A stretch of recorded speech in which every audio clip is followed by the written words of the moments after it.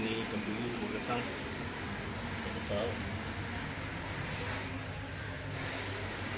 Ikan puyuh baru datang ni. Ni baru hari ni datang.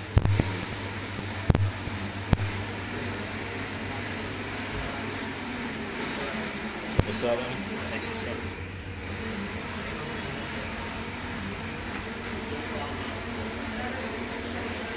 Jangan lupa like, komen dan subscribe kepada kawan-kawan channel saya ni supaya masa ke depan ni dalam keadaan baik.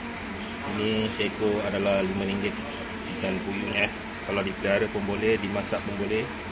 Kalau nak dimakan pun boleh, masak goreng lah.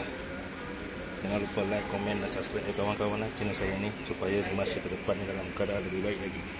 Sekian, terima kasih. Waalaikumsalam warahmatullahi wabarakatuh.